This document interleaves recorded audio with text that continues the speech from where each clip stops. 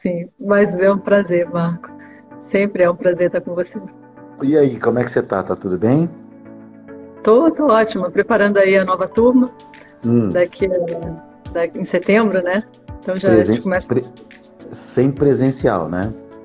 Não, presencial.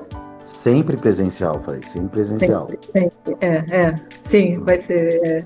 A gente tem um módulo que é online, que é complementar, né? Depois. Uhum. O curso depois a gente fica três semanas com a galera. Hum. Depois eu quero que você fale mais, mais ó, até que enfim, tô falando que até que enfim é uma convidada elegante. ó, você tá fazendo sucesso na net, até que enfim, uma convidada elegante. Ou para quem, bom, pessoal, para quem está participando, obrigado aí quem está participando da live. Essa é a Daniele Gugel. Ela é fundadora, criadora do Neurotrading, que fala de comportamento, de como o cérebro raciocina na hora de tomada de decisão, na hora que você está treinando. E se eu falei alguma besteira, você me corrige, Dani. É isso? Você sabe bem, você já fez o treinamento, né? Eu fiz sim. E o Neurotrading ele foi uma coisa que me fez olhar o mercado de forma diferente. É, quando eu fiz o Neurotrading lá com você, Dani, assim, você falou coisas que ficaram, que marcaram muito para mim, entende? Mesmo um cara com quase 30 anos de mercado financeiro, um cara que tem uma opinião formada e às vezes cético e burro, porque quando a gente fala de ceticismo, a gente fala de burrice, né? Porque as pessoas que é porque você fica, você e você é uma pessoa que é, porque quando você é, cria barreira, você está limitando o seu conhecimento. E você, de uma certa forma, com esse seu jeitinho aí, todo angelical, todo doce, você falou coisas para mim que ficaram marcadas. E aí a gente ficou amigo e você me ajuda constantemente. E assim, eu sou, eu sou muito grato pelas coisas que você fala, porque suas colocações são muito, muito bem é, direcionadas. Eu acho que você tem uma habilidade muito grande pelo lugar com pessoas. E aí, eu queria que você passasse primeiro é, uma pergunta que eu vou te fazer. Como é que você consegue, por exemplo, chegar num cara da minha idade, ou um cara que tem uma. um cara que está no mercado financeiro há muito tempo, né? Vamos colocar assim, uma pessoa que já está no mercado há bastante tempo, tipo o Fábio Salvar, acabou de entrar aí um amigo meu, que é um careca charmoso, parece Bruce Willis. É, você, como você faz um cara desse, por exemplo, que é o Fábio Salvar? Vou falar o Fábio Salvar, o cara que entrou aqui na live. Ele é um amigo meu, ele, ele é um empresário bem sucedido. Ele, como todo mundo, sofreu na pandemia. É, e aí ele buscou no mercado financeiro uma alternativa e ele está indo bem. Mas ele é um cara que ele já tem certos vícios da vida, né? Como é que um Sim. cara desse você consegue hoje, no Neurotrade, pegar um cara desse que tem um sucesso, num, e, e, você acontece muito isso, tá? As pessoas, pessoas bem-sucedidas procurarem você e você falar pro cara, meu, é, pensa diferente. Fala para mim, explica aí como é que você, como, como, como é que é tudo essa dentro da sua cabeça e essa estrutura. É, cada aluno, é, cada caso é um caso. No caso do Fábio, né? Fábio. Ele já é, um, é, já é um bem, uma pessoa muito bem sucedida no, nas empresas dele. Eu não sei como é que ele está no trade, mas é, é, muito interessante que mesmo que a pessoa não esteja bem, não esteja sendo bem sucedida no trading, se ela tem memória de estar bem, de ser bem sucedida, essa memória ela pode ser acionada e conectada ao trading. Então, de alguma forma, primeiro eu tenho que dar fundamentos para ele, porque não adianta eu falar isso que eu estou falando para você sem dizer o porquê que isso é isso. Então, a primeira a primeira ideia que eu tenho muito sólida é de que eu tenho que dar informações técnicas. E uma vez que você se convence tecnicamente de algo, ou seja, se você acredita nisso, porque os fundamentos foram plausíveis para você, uma porta se abre na sua cabeça. E aí talvez, se você estiver vulnerável a essa, a essa interferência minha, você vai poder, por exemplo, aceitar uma sugestão de alguma metodologia ou alguma técnica que eu possa sugerir para que você modifique algo. Mas o primeiro caminho é, é, o convencimento, isso em todas as áreas. Se a gente não, se nós não falarmos de convencimento científico, teríamos que falar de crença por fé. Então, né, eu vou acreditar, você está me falando, mas veja bem, vamos colocar, né? É. A sua pergunta é, como uma pessoa que já tem uma certa idade muda, né? É isso? Mais ou menos assim, Exatamente. essa. É isso. Como uma pessoa que já pode mudar. E se uma pessoa também já tem muitos vícios no mercado, como é que ela pode mudar? E, e aí que vem mais fundamentos ainda. A ciência, ela trouxe evidências e, na verdade, ela estabeleceu isso, que nossa biologia é plástica. A nossa biologia do cérebro é plástica. E o que, que significa isso? O nosso cérebro ele modifica a cada pensamento, a cada sentimento, a cada experiência que nós temos, ele se modifica. E isso abre todas as portas para que nós possamos é, instalar novas, novos comportamentos. A partir do momento que eu, é, se eu penso certo ou se eu instalo um comportamento, mesmo que artificial, correto, aquilo vai mudar a minha fisiologia fisicamente. Então, antigamente se tinham ideias assim antigas, né, na ciência, de que nós nascíamos com um cérebro e nós morríamos com esse cérebro e que era muito difícil mudar.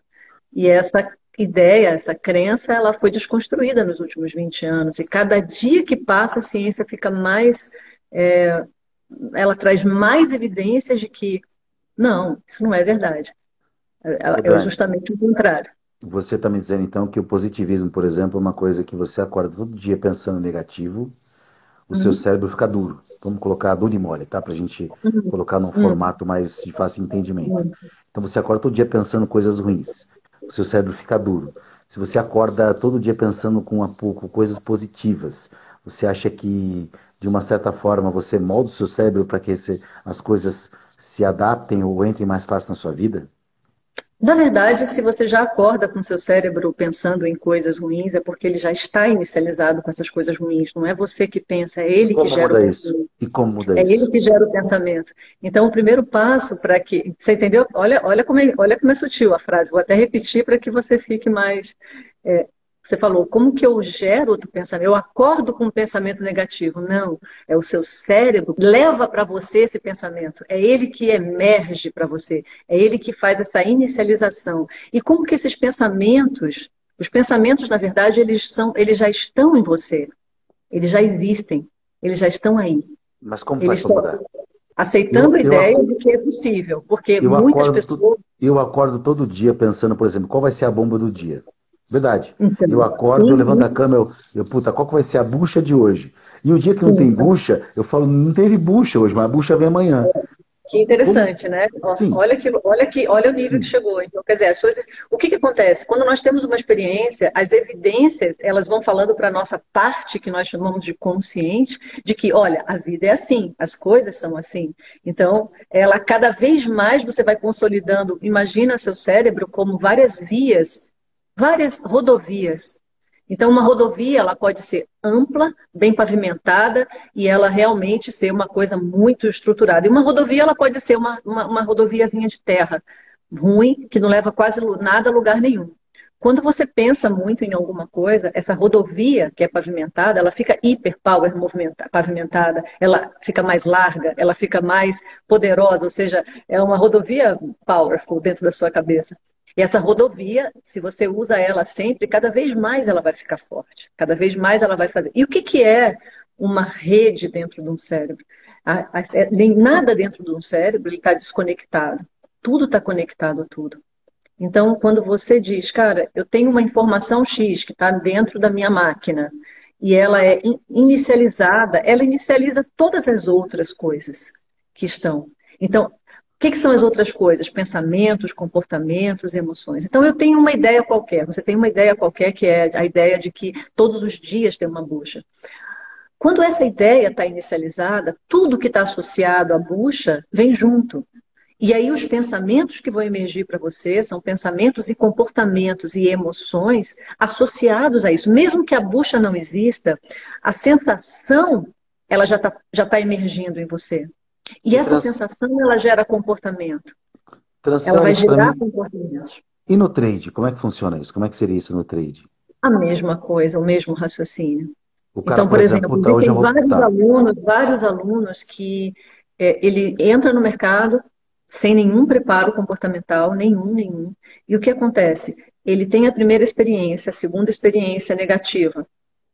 Vamos imaginar, a primeira assim, ele automaticamente ele vai tirar conclusões, correto? O teu mercado é difícil, o mercado não é para mim. Ah, eu não Ainda tenho mais só. sem preparo. Hã? Ainda mais sem preparo. Não, e ainda mais sem preparo comportamental, mas ele pode ter um super preparo técnico. Mas primeiras, as, as, primeiras experiências dele vão praticamente definir, dependendo o que ele pensa, daquela, vai começar a construir aquela rede dele. Então, a primeira, poxa, é verdade, eu não tenho, nossa, será que eu tenho sorte nisso? Ah, será que o mercado é para mim? Ah, meu, nossa, toda vez que eu entro, o negócio, toda vez que eu compro, o negócio cai, toda vez que eu vendo, o negócio sobe. E ele começa a criar essas ideias. Você percebeu que nenhuma experiência nossa na vida, ela passa batido sem nós criarmos uma hipótese ou uma teoria a respeito daquilo? Pode ser qualquer experiência. Você sai na rua, você sai com uma menina nova agora, você acabou de sair com a moça, a moça é japonesa.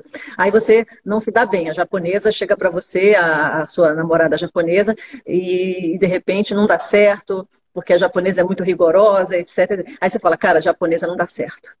É você, você, você, faz uma generalização para todas as japonesas da face da Terra, vamos imaginar. Só que isso é uma ideia, isso é, um, é uma redezinha, isso é uma pequena rodovia que você criou.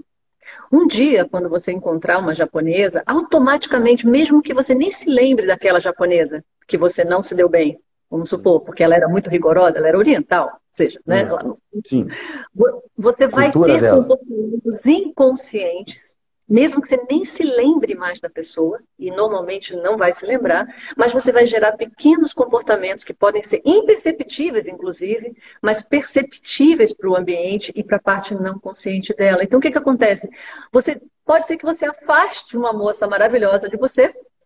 Hum com pequenos comportamentos que são é, absolutamente é, inconscientes e que você jamais poderia voltar a retroagir no tempo e dizer, não, mas eu não fiz nada com a moça.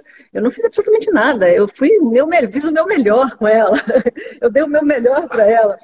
Entendeu? E aí, no trading. E aí, só que o que, que acontece? Nós, o cérebro é uma máquina de gerar ação, gerar comportamento, não importa qual seja. Um pensamento é um comportamento. É, o, o, cérebro ele gera resultado. Você tem um input e ele gera um resultado. É sempre assim. É como se fosse realmente. Vamos fazer uma analogia do computador, porque é uma boa analogia, tem com suas ressalvas e suas aspas.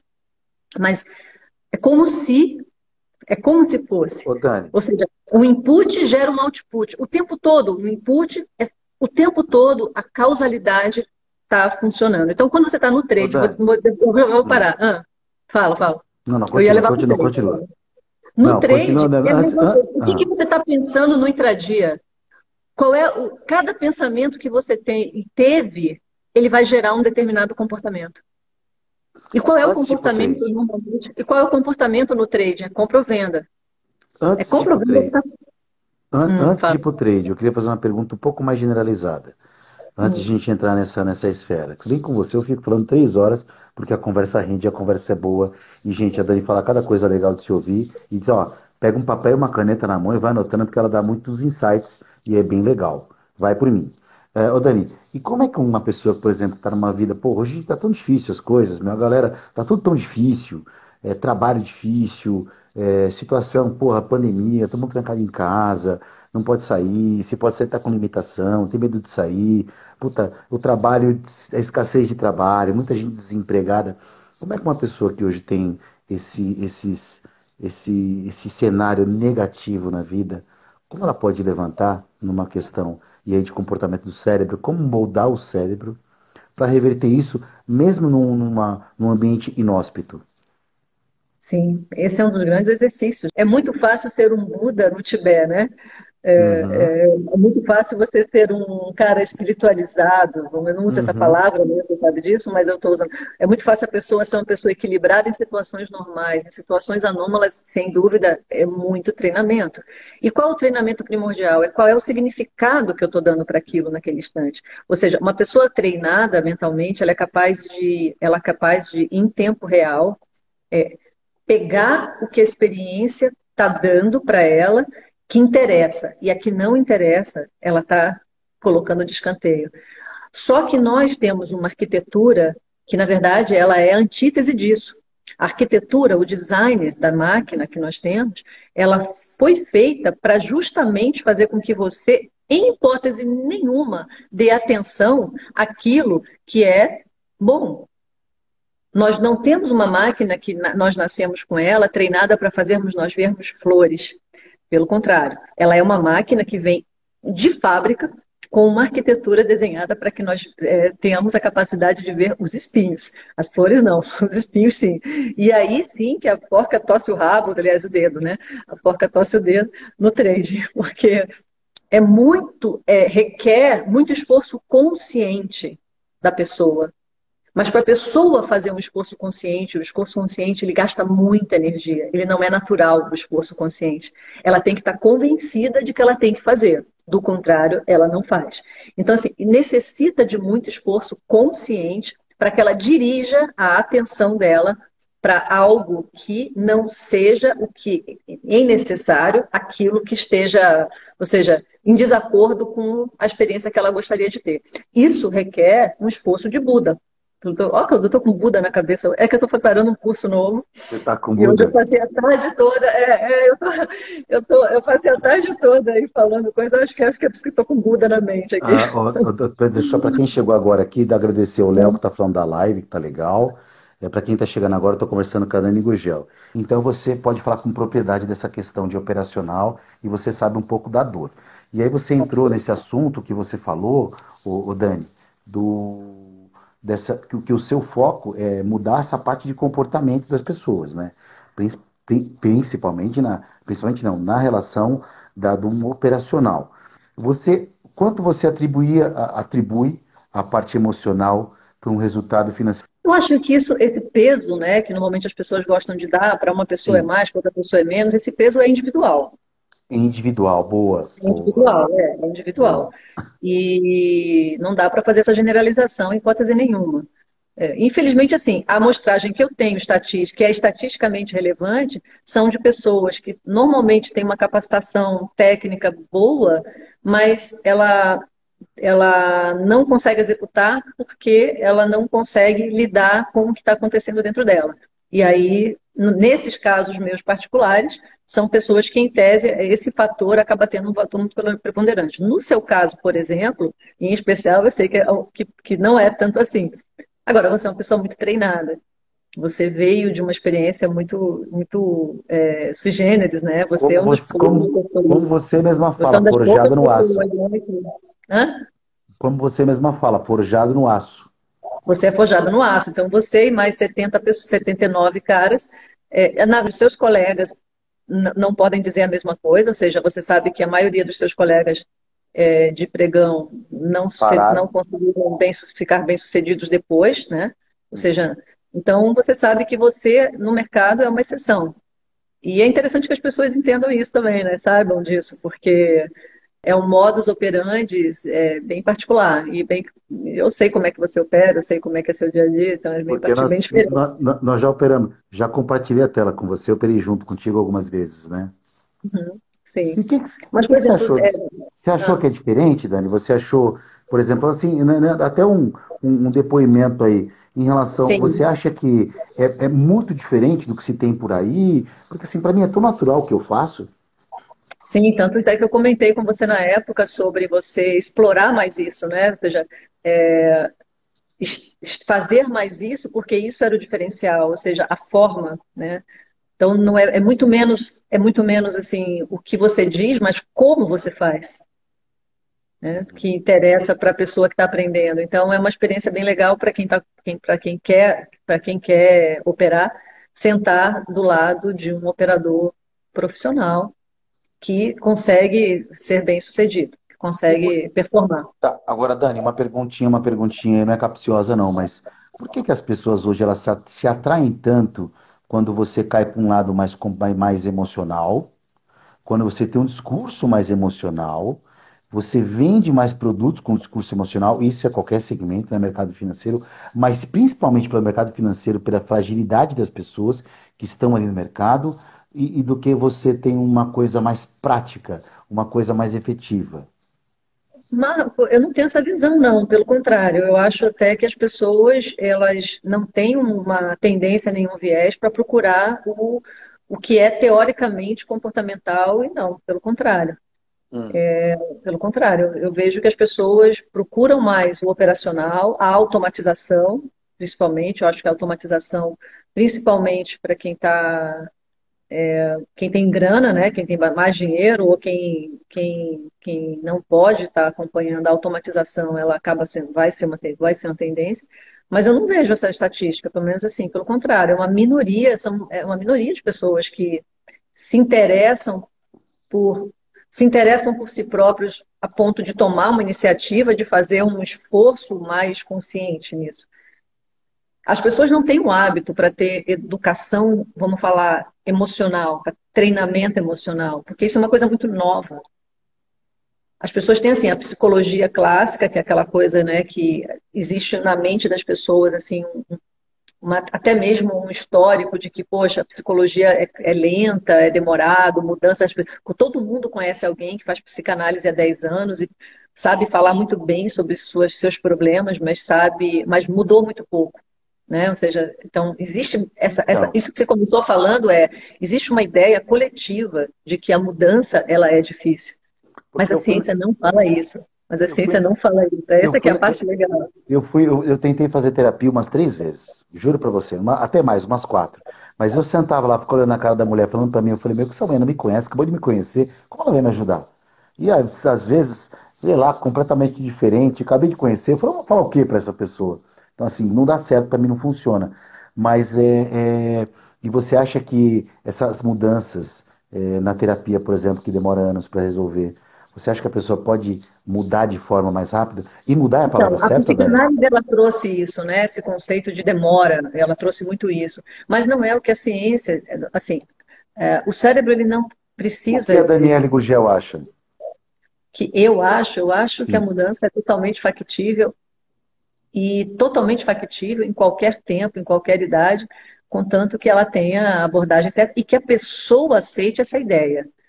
Porque, de um modo geral, se a pessoa não aceitar a ideia de que é possível, não é possível.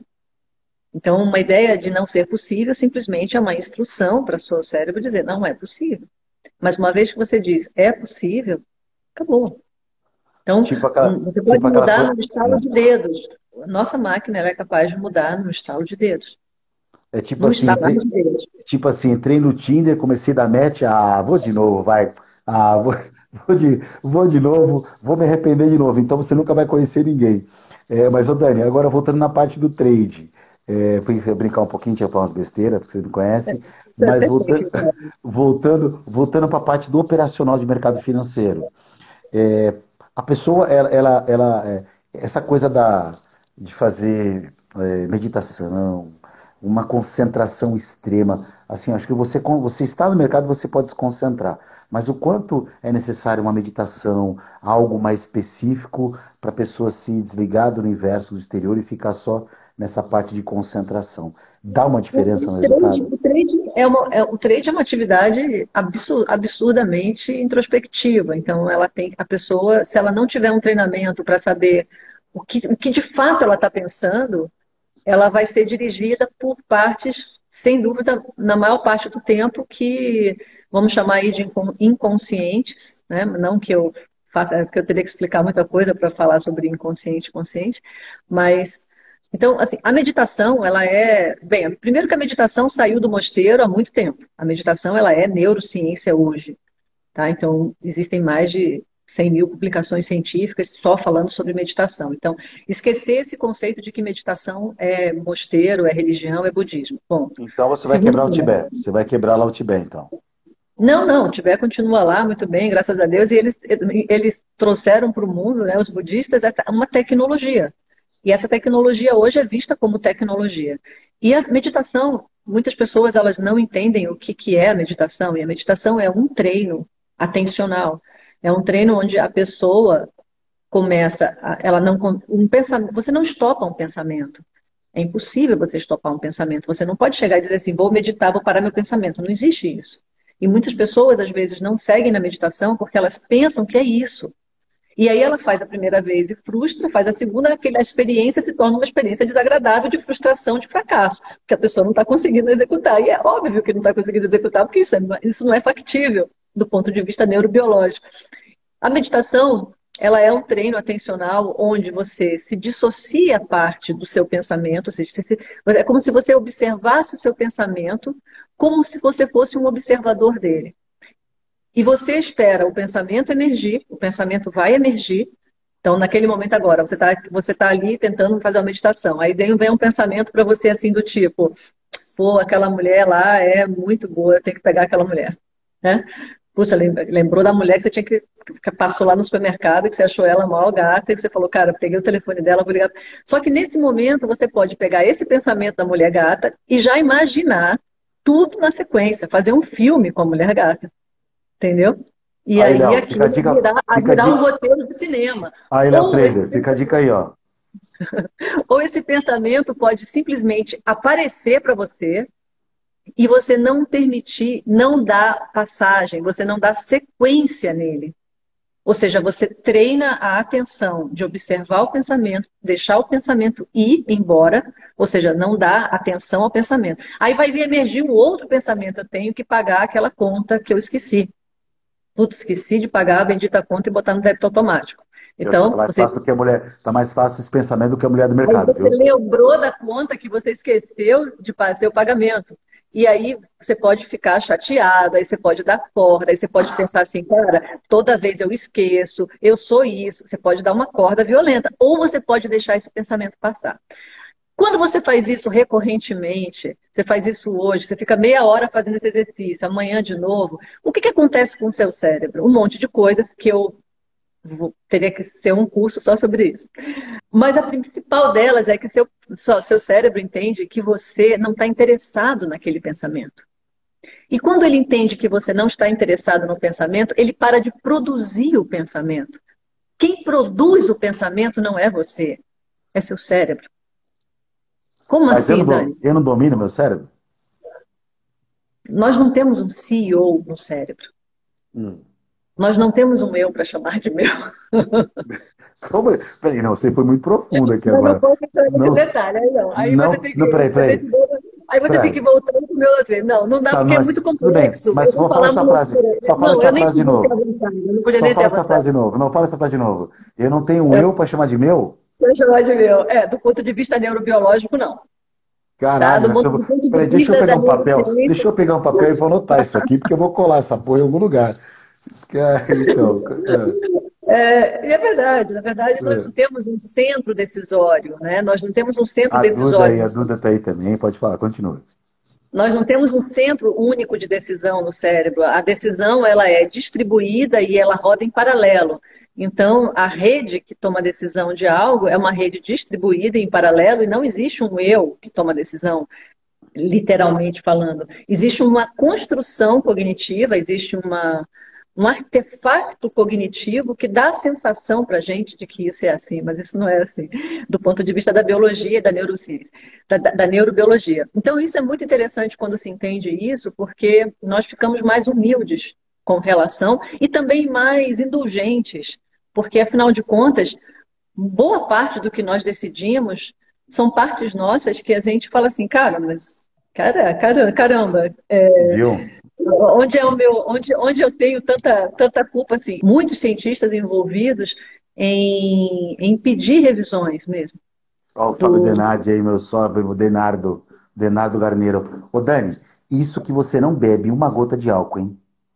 Se você tomasse uma cana, três caipirinhas, você ia falar tanta coisa legal, porque quando a gente bebe, a gente fica mais solto, não é? Não é Mas isso? não precisa. Se eu tomar cana, eu vou ficar lesada. Não, você não, toma uma gota de você toma duas, você toma duas caipirinhas, meu irmão. Tem que conversar com você com, com uma caneta do lado, uma, aquela bique quatro cores que tem mais tinta, para anotar tudo. Agora eu queria que você contasse uma coisa que ficou gravada na minha cabeça, eu nunca te falei isso. Você contou a historinha uma vez, você contou a história. Por que, que no mercado financeiro é tão destruir, cansa tanto, é tão maçante para as pessoas que perdem dinheiro que elas que você falou para mim isso para mim. Você falou isso para mim uma vez. Falou, olha, é, o mercado das pessoas no mercado financeiro, elas elas não não o mercado ninguém ninguém nasceu para perder. Ninguém vai trabalhar um mês todo para perder. Porque a pessoa trabalha para ganhar. E aí você contou aquela historinha do fogo, que há 270 milhões de anos o homem colocou, esquentou o alimento, que cozinhou, que aumentou o cérebro. Conta essa história pra gente, pra, pra mim, por favor, só para ficar gravado aí, porque eu gostei tanto. a, a, história da evolução do nosso cérebro. É, é, você, mas você contou de uma forma para levar para o operacional. Não, é tudo, na, tudo que eu falo, é, no Não, final, mas... eu faço uma. Eu, eu, resume, eu levo para o operacional. Resume, é. resume então, essa história, porque eu achei tão legal, cara. Compartilha verdade, com o pessoal. É, eu acho que. Eu não sei exatamente de qual parte você está falando, mas é, eu acho que a, a, evolução do nosso cérebro ela é uma, ela é uma, é uma trilha, né? Que ela foi começou, vamos, pelo menos assim, o que a paleontologia trouxe é data de 7 milhões de anos. Então, há 7 milhões de anos, nosso cérebro tinha 300 gramas, mais ou menos, e hoje nós temos um cérebro de 1,3 kg. Então, nós fomos é, ganhando é, massa neural. E isso foi dando para a gente outras capacidades, capacidades é, mais sofisticadas, do que nós tínhamos há 7 milhões de anos atrás. Mas a explosão que nós tivemos cognitiva, ela data de muito pouco tempo. Então, nós temos uma explosão cognitiva que data de, que começou há 2 milhões de anos, quando nós começamos a fazer o cozimento dos alimentos. Então, nós começamos a ter um aporte maior de caloria. Então, por exemplo, quando você come uma batata cozida, você tem praticamente 100% daquela caloria, mas se você come ela crua, você tem aproximadamente 30%. Então, nós começamos a ter um aporte calórico maior em face do do, da, da, descoberta do fogo, que é mais ou menos 2 milhões de anos, e há 200 mil anos, quando nossa espécie realmente emergiu, né, nós, sapiens, né, os homo sapiens, nós ganhamos um módulo novo, que nós também não tínhamos no nosso cérebro, que é um módulo que fala e que pensa em símbolos. Então, eu consigo associar eu consigo dar significado a então, símbolos. O cérebro de 300 gramas virou 1,3 kg hoje, é o cérebro, entendeu?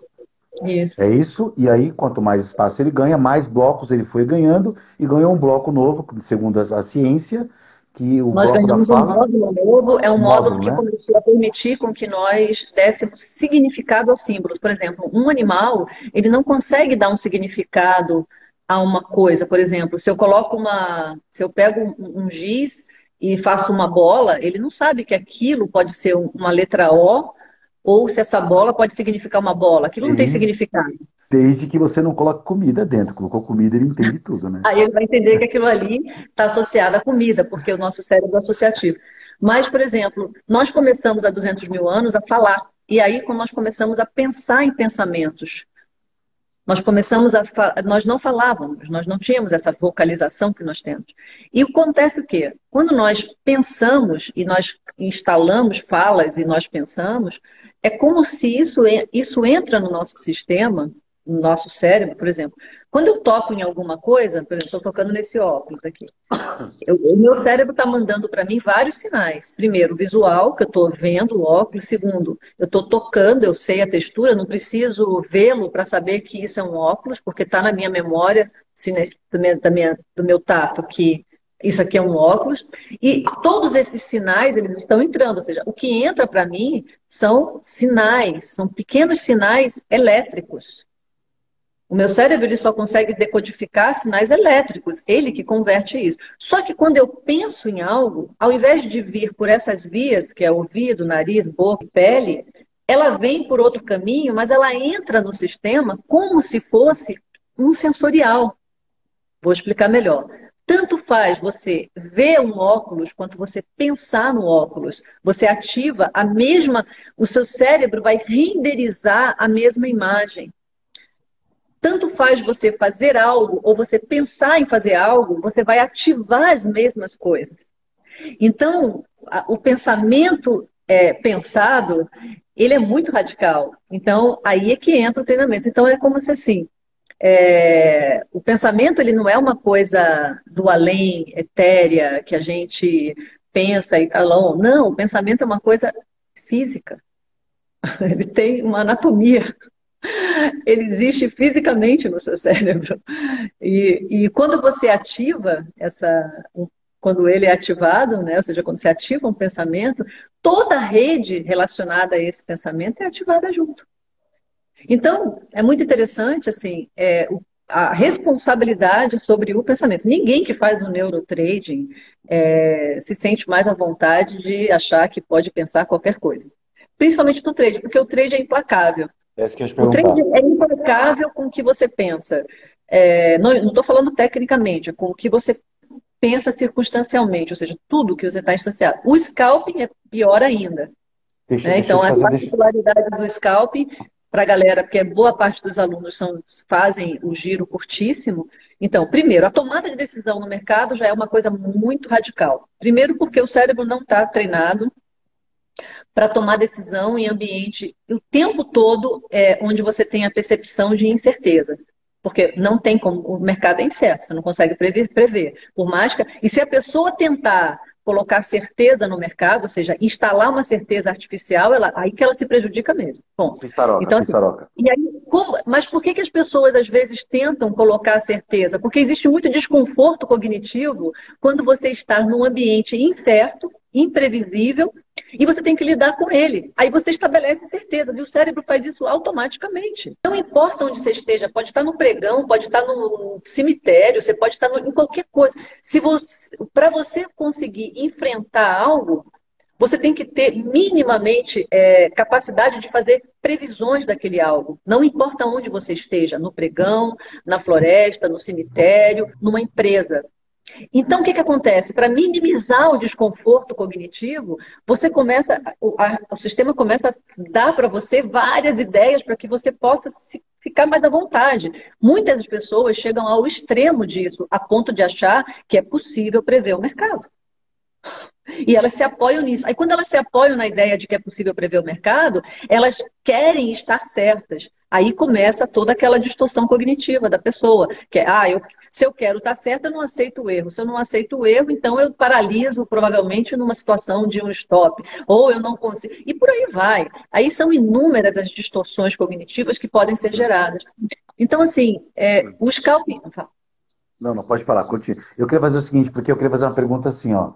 É, então, você que, que estuda esse, essa questão do, do cérebro mesmo, quando um cara no mercado financeiro tem que tomar decisão, ele, o cérebro manda ele tomar uma decisão, mas ao mesmo tempo ele fica com medo e ele tem receio daquilo, ele não tem certeza daquilo, ele manda clicar, aí manda não clicar, e esse vai e vem é muito Sim, rápido então, isso. Por quê? Porque a, a, tomada de decisão ela é distribuída.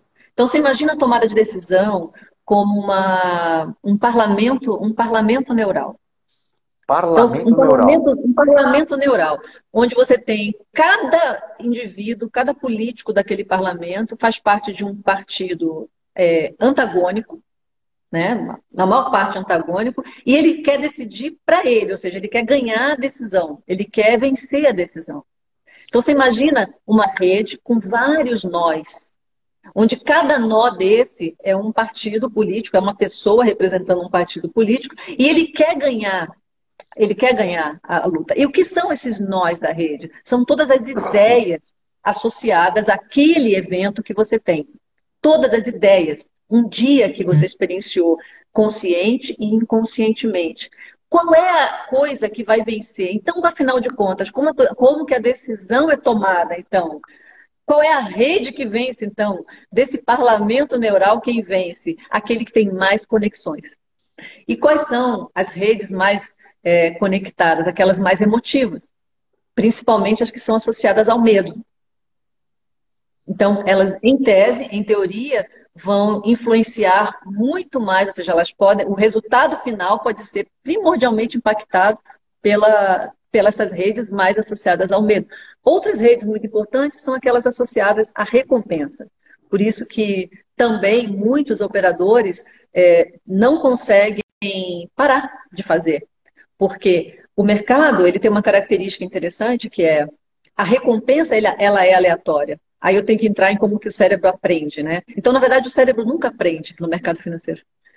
By the book, seguindo as vias normais, ele não aprende. Por quê? Porque um dia você ganha e sofre. O outro dia você faz a mesma coisa e ganha. O outro dia você faz a mesma coisa e perde. E sofre então, também. Então, quer dizer, você não tem é, um balizamento. O cérebro ele aprende por quê? Assim, uma coisa é muito ruim, ele para. Então, se fosse assim, a pessoa perderia uma única vez e nunca mais na vida ela entraria no mercado, porque aquilo significa perigo para ela. Um perigo profundo. Então, em tese, se você hoje, Marco, sair na rua agora e espetar seu pé, sair descalço e furar seu pé, dificilmente sabe? Você vai é, esquecer disso e dificilmente você vai querer sair descalço novamente para não correr o risco de furar um pé. Ou se você bater o dedinho aqui agora, se você queimar o dedinho na, na, no, no, fogo e fazendo alguma bobagem, a próxima vez que você for para o fogo, você vai estar hiper atento. E isso vai levar a sua vida inteira. Você vai carregar essa atenção para a vida inteira. É assim que a gente é. E por que, que no mercado não é assim?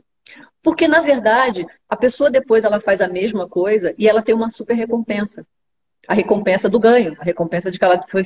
E o que, que acontece? Eu sei mais o que fazer. Ô, Dani, posso só, vou te falar uma coisa. Eu, eu, eu acho que eu, eu, concordo com você em algumas partes.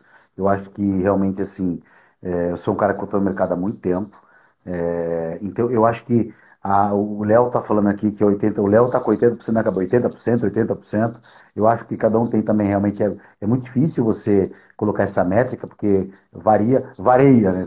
Varia de pessoa para pessoa. E assim, mas eu, Dani, eu acho, eu acho que é diferente. Eu acho que, assim, na minha, na minha concepção, no meu entendimento, quando você tem um, uma, uma não é nem a palavra é nem resiliência, que essa palavra surgiu agora, né? Virou moda há pouco tempo atrás, resiliência. Eu acho que quando você sabe um pouco mais o que está fazendo, você tem algumas, algum entendimento um pouco do mercado e tem uma, um estudo um pouco do mercado, acho que deixa mais confortável. Eu já fiquei no pregão oito meses sem perder um dia. Oito meses sem perder um dia, ganhando todos os dias. Meu recorde do eletrônico foram seis meses ganhando todos os dias. Então, assim, é, o que, que me dava o conforto disso? Eu mais ou menos falava, puta, olha, cara, quando sai isso, geralmente acontece isso. Se der errado, meu prejuízo é tanto. Se der certo, eu ganho tanto. Então, isso para mim é uma religião. Aí é que vem a história. É, terminando essa história. Por que, que as pessoas não aprendem? Porque a recompensa, ela, ela acontece, hora acontece, hora não acontece. O que, que aconteceu com você? Você criou um princípio. Sim. Você instalou em você um princípio. E aí o que, não... que acontece? Quando você perde, seja por qualquer motivo, a percepção da perda ela é amenizada. E aí você orienta a sua cabeça ao ganho. A atenção sua está para o ganho. Ou seja, até porque você traz na sua história um passado de ganho. Ponto. Você já tem uma. Internamente você tem todas as evidências de que é possível ganhar dinheiro no mercado. E isso já é todo meio caminho. Isso tá, são 30 anos de história sua trabalhando com isso. Ponto. Mas você entendeu? Você criou um princípio para você. E o seu princípio é, cara, a perda não significa. Perda não é perda. Você deu um outro significado à perda, concorda? Sim. Você deu um outro significado à perda e você orienta a sua atenção ao quê? Ao, ao meu próximo alvo. Pronto. É, parece simples, né? É isso que, na, é isso é uma das coisas que eu é, que o cara tem que treinar um monte para chegar nisso. Parece simples falando. Tem, é, Você como? O, cara, o cara desorganizado internamente, é, ele tem a perda. Toda a atenção vai para a perda. Então, ele cria inúmeras teorias sobre a perda. Ou porque ele é incompetente, ou porque ele não sabe, ou porque ele tem que fazer mais curso, ou porque ele, ele tem, ele, o mercado é contra ele, ou porque ele não tem a sorte que ele tinha que ter, ou porque ele vai. Ele, ao, você está entendendo? A, a, o significado que ele dá à perda, ele é muito desproporcional ao significado que ele dá ao ganho. Até porque o ganho nunca satisfaz. Você concorda? O mercado o tempo todo ganho nunca é satisfatório, porque sempre poderia ter sido mais. normalmente poderia ter sido mais. E aí, uma, uma pessoa treinada, ou seja, uma pessoa que já entendeu a matemática da coisa como você, simplesmente ela estabelece uma única ideia, um único princípio. E acabou. Ô, ô Dani, tem um, tem um pessoal, porque assim, você fala. Faz sentido para você? Faz sim, sentido. Sim, faz sentido. Faz todo sentido. Porque assim, você fala para as pessoas, puta, eu fiquei oito meses no pregão sem perder. Realmente é difícil de acreditar. Mas o pregão é outra dinâmica. No eletrônico é um pouco mais difícil.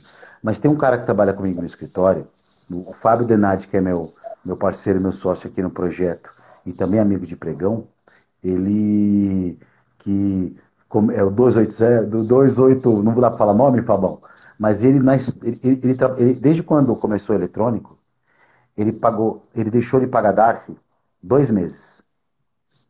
Desde quando começou o eletrônico, ele deixou de pagar DARF dois meses. Ele está aí online? Ele está aí no chat? Ele, não, ele não está no chat, mas um amigo em comum, um amigão nosso, está ah, tá no chat. Então, Legal, desde, nossa, é impressionante, desde, então. Assim, desde quando. São... Escuta isso falando você, não sou eu. É o Fábio conhece. desde quando, não pode falar nome, desde quando começou o eletrônico, só dois meses na vida dele que ele não pagou DARF. Você entendeu? Qual então, é o princípio dele? E qual é o princípio dele? Cara, é muito assim, ele mapeou o mercado de um jeito, ele tem, um, ele tem uma técnica, ele consegue mapear, ele só, ele, ele tipo assim, ele olha só o Times in Trades, por exemplo, ele não olha o book. Ele ensinou muita coisa, eu aprendi muita coisa com ele, tá? E ele vai mapeando os caras ali, e esse pessoal tá começando a vender, tá começando a comprar. É muito louco, mas ele fica. Ah, então, tá, a técnica dele é baseada no. Mas assim, não é a técnica operacional, é que eu, que eu perguntei. Não, mas, mas ó, assim... você fala com ele. Mas, ô Dani, vou te falar uma coisa pra você. Você fala com ele de economia, desculpa, só para finalizar, tá? Você fala com ele de economia, ele sabe tudo. Ah, sabe pronto. Tudo. Você Papel, ação. Tudo, tudo. O cara, assim, é uma, é uma coisa absurda, absurda. Ele, ele me ajuda muito nas pautas da rádio, ele me ajuda muito na comunicação. Esse cara me dá, assim, é um parceiraço, entendeu? Marco, você chegou num ponto fundamental e é uma das coisas que eu faço praticamente, gasto muito tempo com os alunos. É, inclusive, eu até cunhei um nome, tá? É, Value Trader, fazendo alusão ao Value Investing.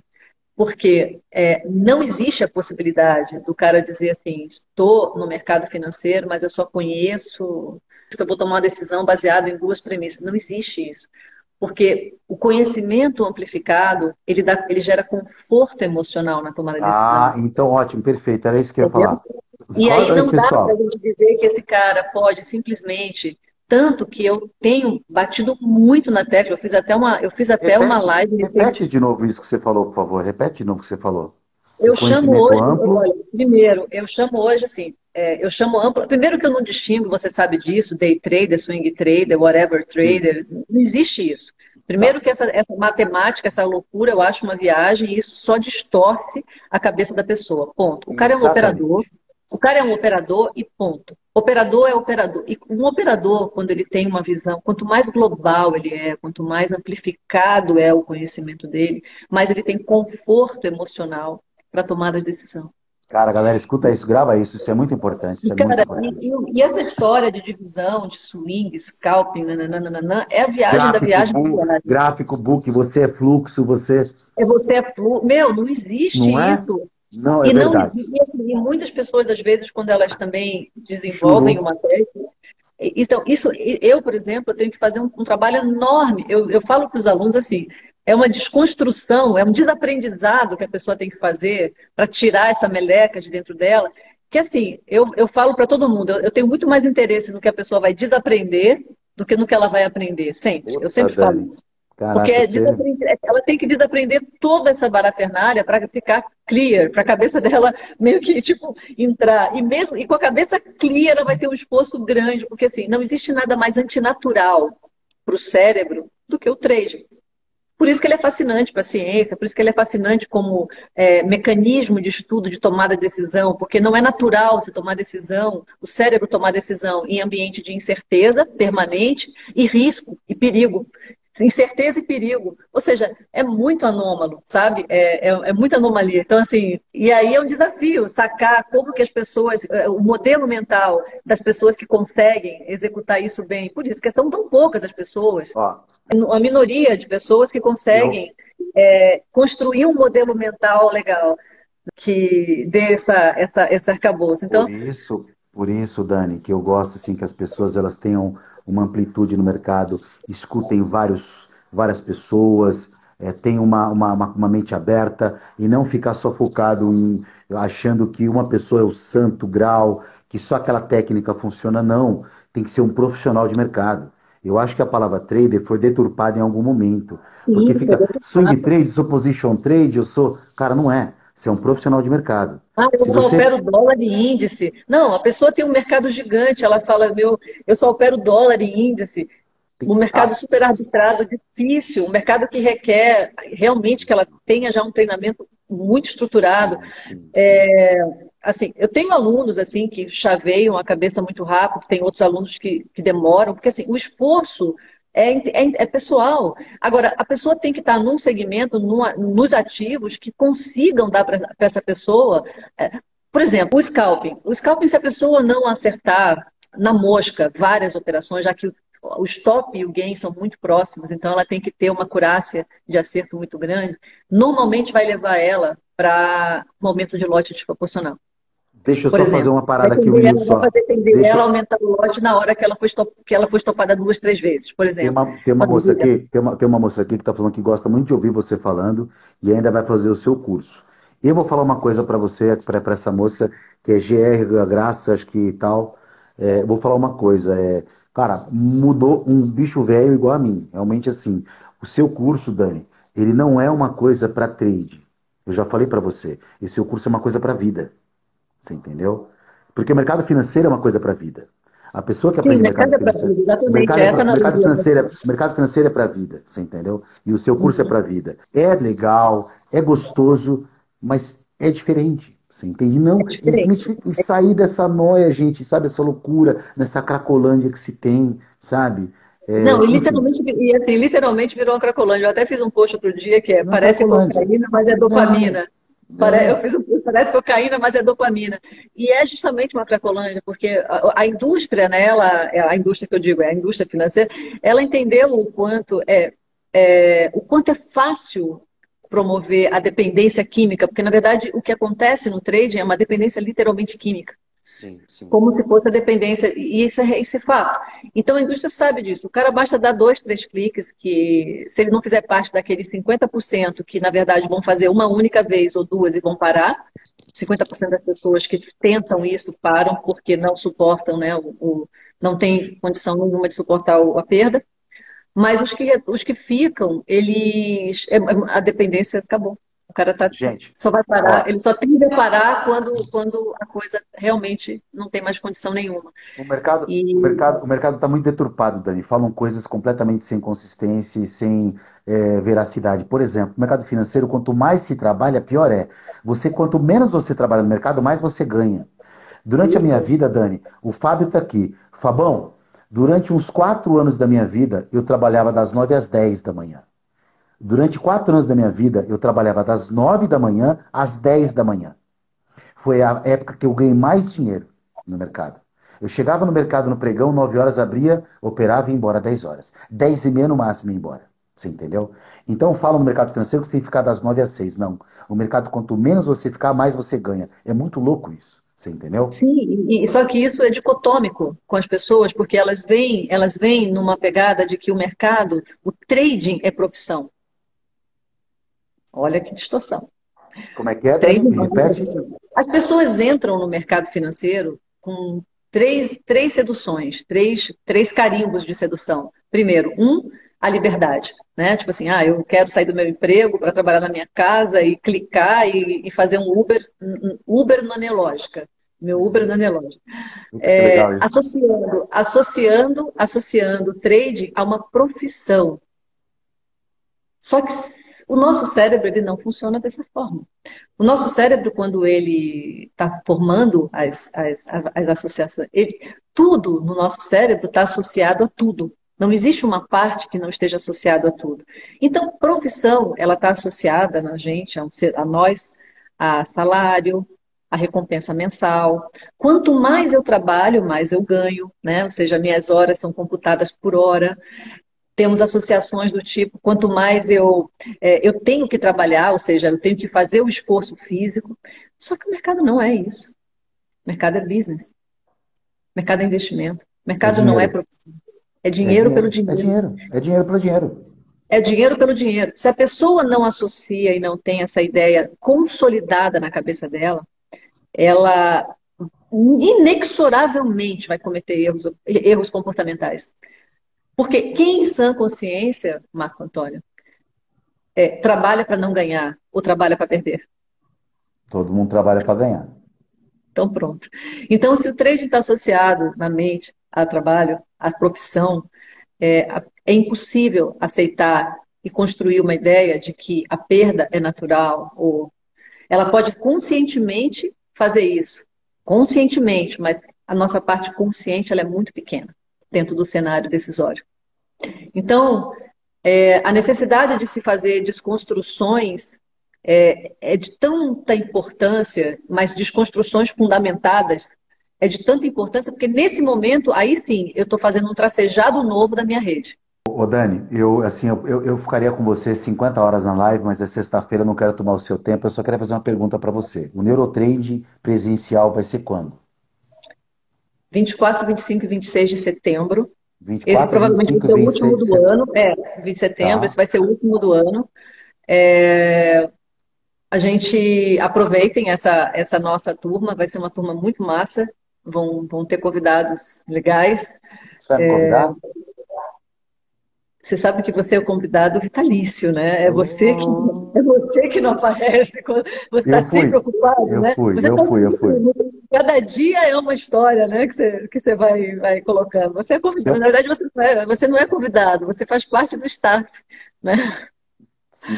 E vai ser 20, é, 25, vai ser desculpa, o do ano, então, galera, aproveitem, aproveitem. É, quem entrar, quem entrar em contato até, na verdade, até os valores já, já mudaram, a gente já voltou, tiramos aquelas promoções do ano passado, é, já os preços já estão normais, mas quem quiser e estiver aí na live e quiser, é, fala com o Marcelo ou Daiane lá no WhatsApp para para manter os preços que estavam na semana passada, mas é não estão falar, mais. Né? É só falar, estou na live do Kim e da Dani. Pode falar isso? isso? Pode. Está na live do Kim e da Dani e, e... Você valida?